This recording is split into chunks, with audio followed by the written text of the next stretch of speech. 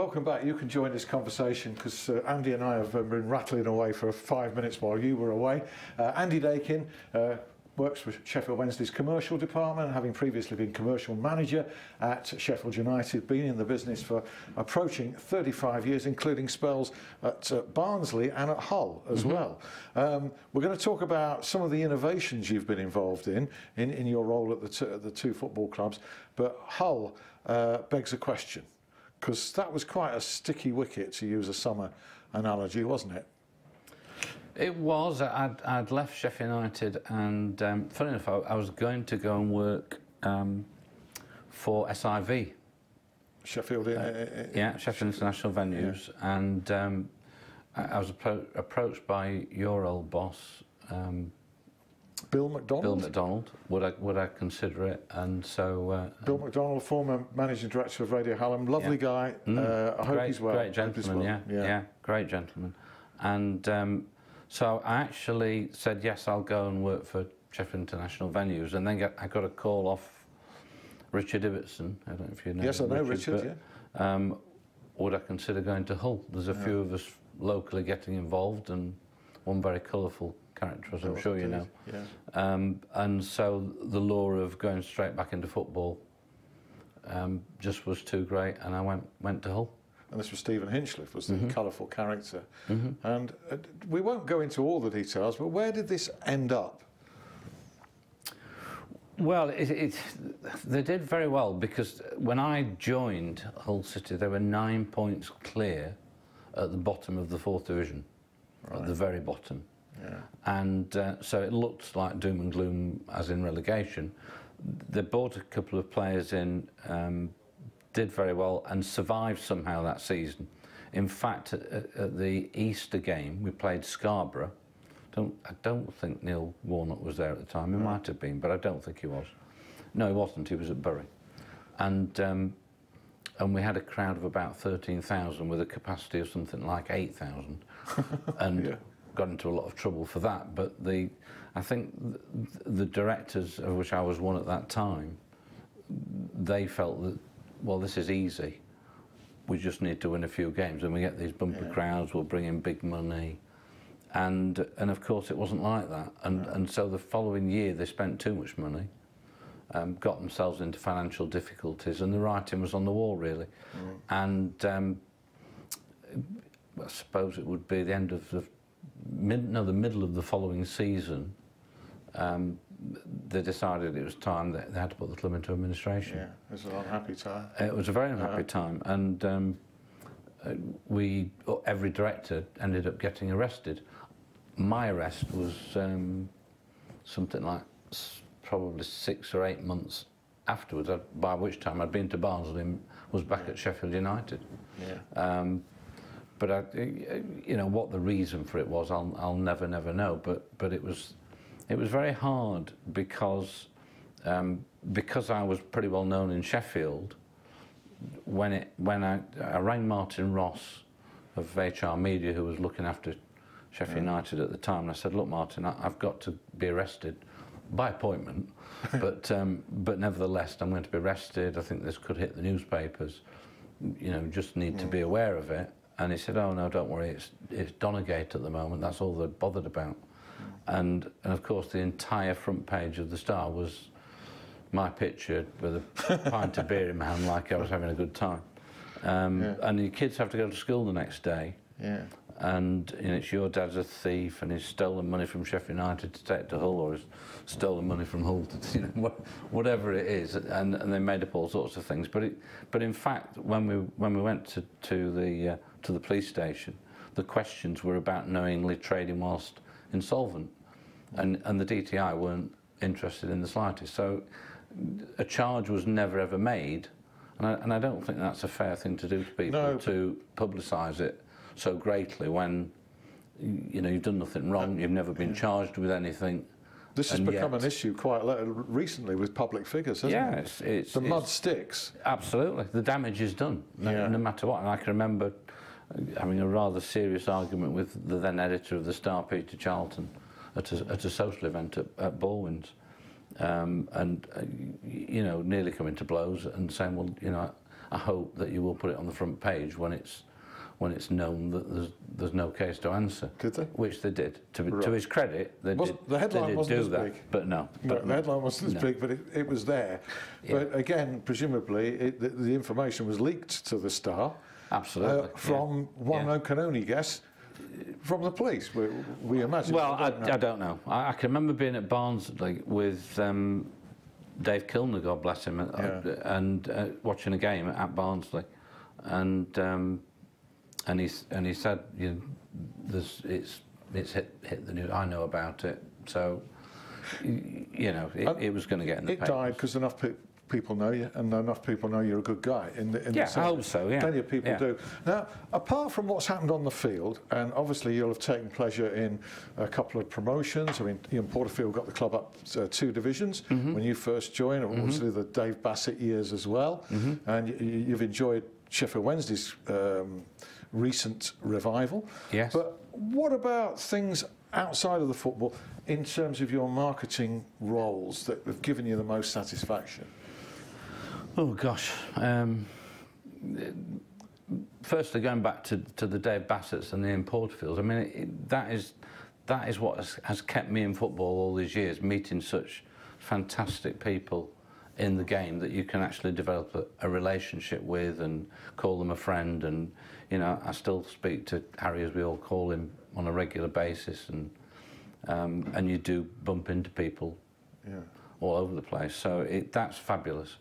Um, in terms of the things I've done, probably in my earlier years at, at Bramall Lane that gave me a great deal of satisfaction were, were things like the Bruce Springsteen concert, the, the Bomber Graham fight at, at Bramall Lane, putting on Mission England, I mean, having, um, Josh, I've forgotten his name now. Billy Graham. Billy that Graham, Dr. Billy Graham, Billy Yeah. Graham, of course. And Yeah. in fact, he gave Linda and I a, a signed Bible. Um, we were just about to get married at the end of that. That was so that would be 1985. Right.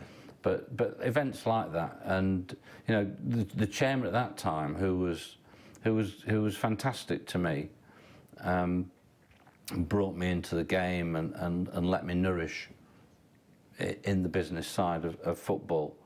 And Reg Brealey. Reg Brealey, yeah, he, he was Lovely guy. he, he was a fantastic much maligned at times, Oh. especially in his second period involved with the club. Mm. Um, very much maligned, but um, but he he wants to look. We're going to have to raise some money and come up with some ideas. Anyway, we launched this thing, and it was called the Blades Revival. I don't know if you remember. I do it. remember it, yes. But um, Yeah.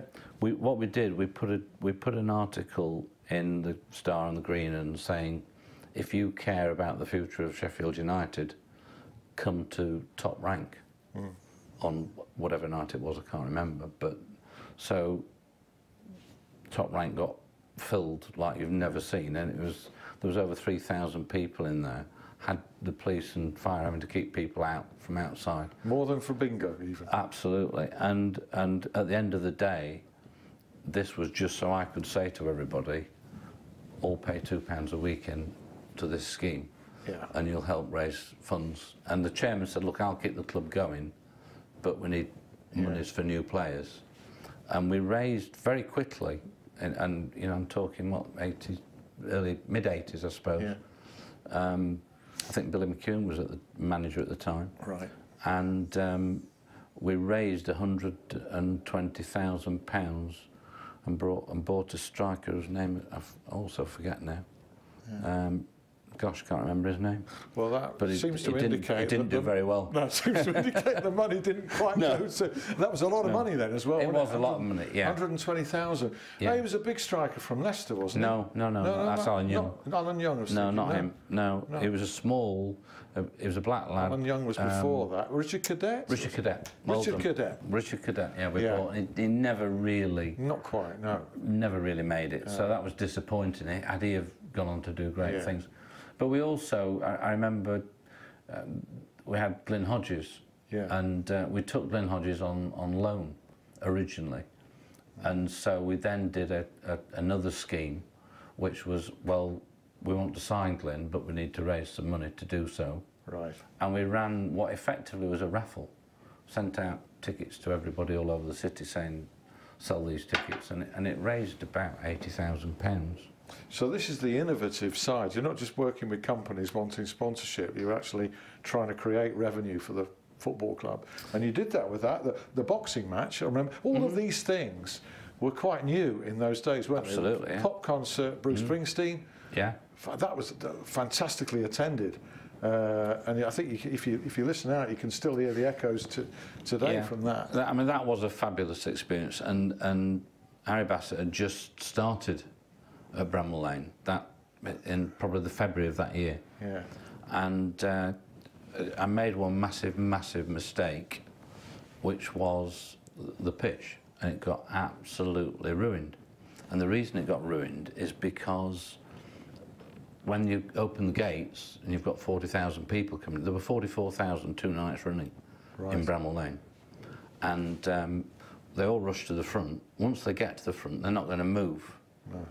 So what they do when they need to yes. go to the loo, they don't move. They go on the spot. Right. So of course, so urine yeah. got into yeah. into the grass and, and yeah. burnt it, killed it. Is that what happened? Killed exactly it completely. That. Yeah. And um, I was I was then later talking to the to the secretary of um, Man City, yeah. who had put a few concerts on at, at Maine Road. It was in those days, of course. And he said, "Oh well, did you not know that you can put an antidote onto your grass beforehand that will stop that burning happening. You can treat it and then said, and then invite people to. Yeah, uh, thanks, thanks for telling me now, but the, the, the, damage was done, and yeah. and the and the council, in their wisdom, uh, Don Valley was just being built, mm. and they declared Bramall Lane a, a noise abatement zone. So that was the end of pop concerts, really. That's a pity, for, Well, they, they, clearly knew they wanted to put concerts on at, at Don Valley, and that was understandable, yeah. really. And it probably was a better venue. Yeah, yeah.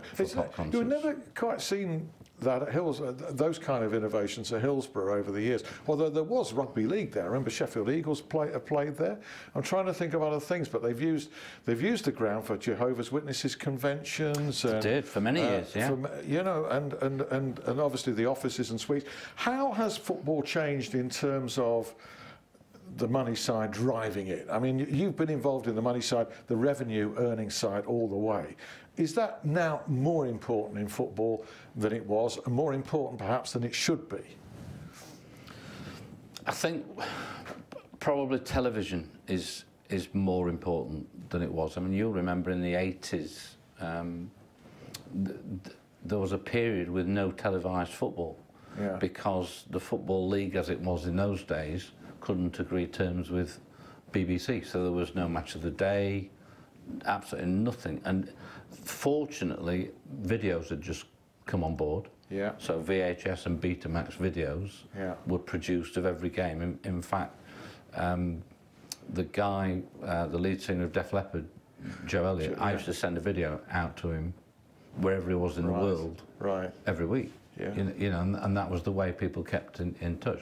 But, you know, cometh the Premier League, cometh Sky Television, and, yeah. and that's what's really changed the world, and that's where the that's where the serious money comes from now. Mm. You know, we we all we're tell, telling everybody it was 173 million pounds mm. if you win that game at, at Wembley the other yeah, week. Yeah. Um, and and that's because of television. It is. So how much easier has it been to sell or become to sell Sheffield Wednesday to sponsors, backers, commercial partners, or what, whatever, as a result of what people have seen on the field? In this last year, the success yes. that we've had. I can't say it's been any easier because the, the, the pricing's been tight or mm. expensive, shall we say. But um, so I don't think it's it's been any easier. People do want to see good football, and the previous year Mm. They clearly hadn't experienced mm. good football in it. What did we win? Three or four games at home almost, and but it was scored hardly any goals. Success you know, was standing still, wasn't it? Yeah, and and and Stuart Gray did a he fabulous did. job with limited resources, yeah. and and what a lovely guy he was as well. Yeah, um, but um, but you know, success is what people want to see, and they will mm. pay. You know, it was, it was abundantly clear when we played Arsenal mm. in the League Cup and and it was a sellout. Pricing is such a delicate thing, isn't it? Just getting that right. And again, Mr. Chansiri, a quick learner, mm-hmm. you know, whatever mistakes it seems to me that he's made, and he has made some, he's been very quick to correct or to tweak, or for instance, the pricing, then people hit the roof over the match day prices. He's been quick to react. And towards the end of the season, it seemed he discovered how to fill that stadium. 20 quid. Well, yeah, that, that, that clearly helps. Um, the, um, the games at the end of the season get bigger and bigger and bigger, and, and of course, pe- people's aspirations to attend those games grow. But, but it is a price sensitive Yeah. business, there's no question about that. Um, and, and, and just how far you can go with prices, he- you know, he's trying to bring as much revenue into the club as he possibly can. Because he's spending a lot. Let's, because he's spending fair. a considerable sum of money. Um, But it, it's a it's a tight line that you you, Yeah. you cross really. So um, But you, he- you've got to have good football to, to go for those top prices. He didn't know football and he didn't know the city, and he's learned an awful lot in that, that first year. I'm sure. About both, I think. Mm. And has proved a quick learner. He has indeed, yeah. He, Yeah. he, it's difficult when it's a different culture as well, and um, you know, understanding that, that we have had a year of not rubbish, but it, it wasn't a great season. The Mediocrity. year. mediocrity, and um, uh, and this season's been a steady growth. Actually, we didn't start off that well No. at the beginning of the season, but it, it has developed throughout the year and been been a tremendous season. Yeah. Do you notice any difference between the nature of blades and owls temperamentally? Uh, whether it's a myth or not, there is a theory that Wednesdayites have always got the glass half full and that blades have got it half empty. Is there any, is there any truth in that? I mean, Wednesday, Wednesdayites have backed their team through some pretty bleak years and remained optimistic.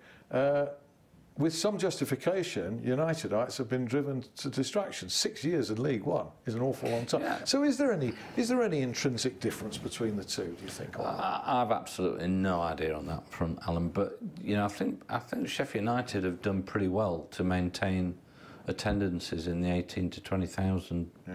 region after a, lengthy spell in, in League One.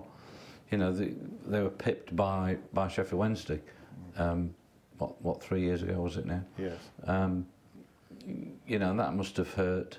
Yeah. Um, but they, but they've kept going, and I, I don't think there's any difference. We're Sheffield people, aren't we? Yeah. I don't I don't see any difference between you know, Chris United and you don't see any difference between the nature No. of the two. no. A Blade is back, is in charge Mhm. uh, of Sheffield United. Yeah. Chris Wilder, you'll know him well. I know Chris very very well. In fact, um, I remember talking to him on John Street side of the, the old John Street, as was when he made his debut. Um, as a I don't know how old he was, but probably only 17.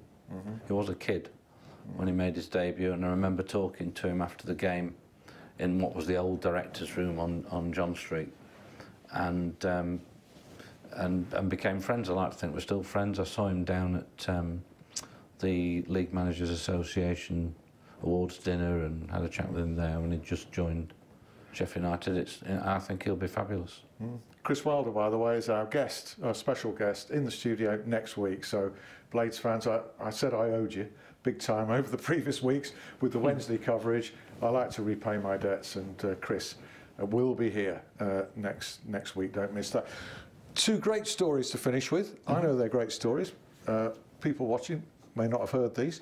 Uh, first of all, your single playing appearance, I, I believe, for Sheffield United was on a tour of Jersey. It was Jersey, yeah, Jersey and Guernsey, yeah, um, yeah. I was, I was, it, it happened perfect timing actually because um, the that would have been in '86, and um, we were preparing for the the um, centenary of Sheffield United for '89, and and producing a book. So so I was able to get my name in that book as. as as having been a play on the players list, um, but it was it was a, it was an official fixture, uh, albeit that's an, the only reason you an played? international friendly. No, the reason I played, and I, the, the the players pr- probably wouldn't want to be mentioned, but we were in um, I think we were actually in Guernsey at the time, but but um, as players will do on, on end of season tours, had a few drinks, and um, the cards had come out, and I think I think one or two had got a bit stroppy, and Right.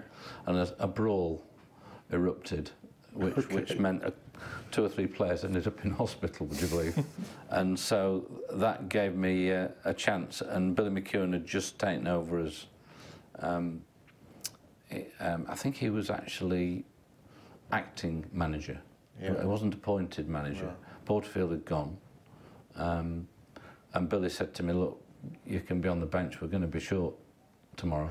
That must have been a thrill. So, um, so, and I'd trained with him. I was, I'd have been 31 or 30. you got on. but I got, yeah, he brought me on. He did- he offer the contract? Gave me a game for half an hour.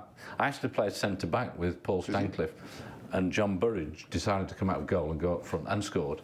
Yeah. Um, I think we won about 8 0. But, um, You but it was fabulous. It, say- it was, it was a fabulous experience. Yeah. You can say you played for Sheffield United. I can indeed, yeah. Now a Wednesday story. They were Mm-hmm. searching. The situation is, it's just a few years ago now. Searching for a shirt sponsor. Yeah. Mm -hmm. Gary Scotting is Oh, the yeah. businessman involved. Just cues you up. Well, when I yeah when when I went and joined um, Sheffield Wednesday, Paul Aldridge had said to me, "Look, don't worry. At least we've got a shirt sponsor lined up." But the shirt sponsor fell through, and so we had to work very quickly to try and get a shirt sponsor organised for the, for the coming season. And so I I sort of thought, who do I know in Sheffield that is capable of doing this at short notice? And Gary Scotting, who then owned um, the Gilder Group and is still involved, but but on, uh, on a small scale because he sold out to JCT 600. Um, but I, I said to Gary, Gary had said to me, look, if ever I do sponsorship, I'm going to do both clubs Right. because I don't want to upset anybody. I'm Yeah. a Sheffield person. Um, he, he is a Sheffield Wednesday fan, but didn't want to upset anybody. So I, I went to Gary and I went to Westfield Health Yeah. to, to Graham Moore and said, look, what about doing something different and putting both Right. Both of you on, on both shirts? One minute and thirty seconds. Okay, I'll be very quick. So, so, um, so I said to Paul Aldridge, I've got Gary Scotting involved. Really, you know, it's going to be good. This. No, we don't want Gary. He'd gone on the radio saying he was going to put a consortium together to buy the club. We don't want foreigners and southerners running this football club. Right. So, to be very quick, I had to hurriedly organise a, a meeting at my Because house. you've got a foreigner, Milan Yeah, Mandarić, yeah. as chairman and owner, and, a, southerner, southerner. southerner as vice chairman, Yeah. and uh, and so I got Gary, uh, Milan Mandarić, and Paul round to my house and and let them fight it out, which which lasted about 15 seconds, and uh, and they became great friends, and and Gary did go on to sponsor the club, which was which was great. People say these things, don't they? And then face to face, it's somewhat different. Absolutely, yeah, absolutely. Yeah. And he said, well, it was a misinterpretation, blah blah blah, Yeah. all those things. But, but yeah, and Gary's a great guy, and and and really bailed the club out when we needed support. It was fantastic. And it's been absolute pleasure chatting to you. I, I owe you a debt as well because when I started my freelance career in uh, 1984, uh, Andy helped me out. He, among his many duties was uh, editing and producing the Sheffield United programme, and I ended up with a, with a column in that. So thank you, You for did, that, yeah. and for keeping in touch for all these years, and for all the memories and all the stories. It's been brilliant chatting. Andy Daykin, I'm sure you've enjoyed that. If you've missed it, it's a repeat at 11 p.m. or you can catch up with it on my YouTube channel. It's been do- downloaded on there. See you next week with Chris Wilder. Bye. but it was it was very hard because um, because I was pretty well known in Sheffield. When it when I, I rang Martin Ross of HR Media, who was looking after Sheffield United at the time, and I said, "Look, Martin, I, I've got to be arrested by appointment, but um, but nevertheless, I'm going to be arrested. I think this could hit the newspapers. You know, just need to be aware of it." And he said, "Oh no, don't worry. It's it's Donnygate at the moment. That's all they're bothered about." And and of course, the entire front page of the Star was my picture with a pint of beer in my hand, like I was having a good time. Um, Yeah. And your kids have to go to school the next day, Yeah. and you know, it's your dad's a thief, and he's stolen money from Sheffield United to take to Hull, or he's stolen money from Hull to you know whatever it is, and, and they made up all sorts of things. But it, but in fact, when we when we went to to the uh, to the police station, the questions were about knowingly trading whilst insolvent, and, and the DTI weren't interested in the slightest. So a charge was never ever made, and I, and I don't think that's a fair thing to do to people No. to publicise it so greatly when you know you've done nothing wrong, you've never been charged with anything. This has become yet- an issue quite recently with public figures, hasn't Yeah, it? it's, it's The mud it's- sticks. Absolutely, the damage is done, no, Yeah. no matter what. And I can remember uh, having a rather serious argument with the then editor of the Star, Peter Charlton, at a, at a social event at, at Baldwin's, um, and uh, you know, nearly coming to blows and saying, well, you know, I hope that you will put it on the front page when it's when it's known that there's there's no case to answer. Did they? Which they did. To, Right. to his credit, they Wasn't- did. the headline did wasn't do as that, big. but no. No, But the headline wasn't as no. big, but it, it was there. Yeah. But Hinchliffe was the colourful character. Mm-hmm. And uh, we won't go into all the details, but where did this end up? Well, it, it, they did very well because when I joined Hull City, they were nine points clear at the bottom of the fourth division, at the very bottom. Yeah. And uh, so it looked like doom and gloom as in relegation. They bought a couple of players in, um, did very well, and survived somehow that season. In fact, at, at the Easter game, we played Scarborough. Don't, I don't think Neil Warnock was there at the time. He might have been, but I don't think he was. No, he wasn't. He was at Bury.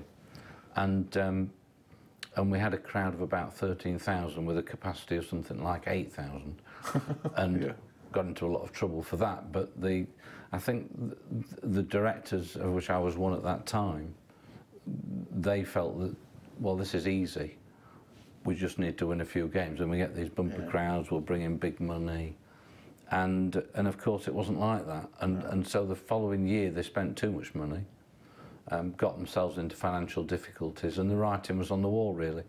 And um, I suppose it would be the end of the mid, no, the middle of the following season. Um, they decided it was time that they had to put the club into administration. Yeah, it was an unhappy time. It was a very unhappy Yeah. time, and um, uh, we every director ended up getting arrested. My arrest was um, something like probably six or eight months afterwards. By which time I'd been to Barnsley and was back at Sheffield United. Yeah. Um, but I, you know what the reason for it was, I'll, I'll never, never know. But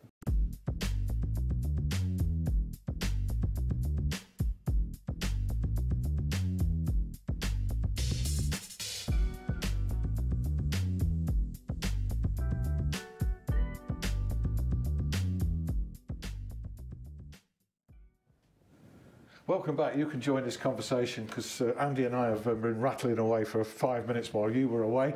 Uh, Andy Daykin uh, works for Sheffield Wednesday's commercial department, having previously been commercial manager at Sheffield United, been in the business for approaching 35 years, including spells at uh, Barnsley and at Hull as well. Um, we're going to talk about some of the innovations you've been involved in in, in your role at the, two, at the two football clubs, but Hull uh, begs a question because that was quite a sticky wicket to use a summer analogy, wasn't it? It was. I'd, I'd left Sheffield United, and um, funny enough, I, I was going to go and work um, for SIV, Sheffield, in, uh, yeah, Sheffield International Venues, and um, I, I was appro- approached by your old boss, um, Bill McDonald. Bill McDonald. Would I would I consider it? And so uh, Bill McDonald, former managing director of Radio Hallam, lovely Yeah. guy. Mm. Uh, I hope great, he's well. Great gentleman, well. yeah, yeah, great gentleman. And um, so I actually said yes, I'll go and work for Sheffield International Venues, and then get, I got a call off Richard Ibbotson. I don't know if you know. Yes, I know Richard. but, um, would I consider going to Hull? There's a few of us locally getting involved, and one very colourful character, as I'm sure you know. Yeah. Um, and so the law of going straight back into football um, just was too great, and I went went to Hull. And this was Steve That was Graham. Billy Graham.